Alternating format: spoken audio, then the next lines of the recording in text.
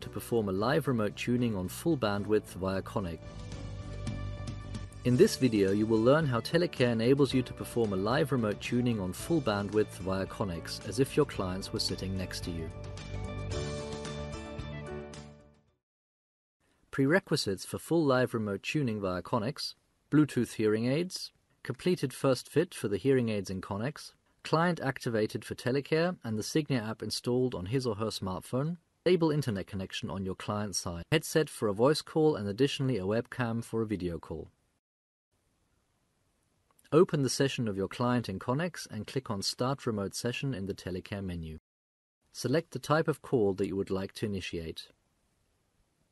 Connect to your client's hearing aids to start remote tuning. Please note that your client First Fit has to approve your connection request in the Signia app.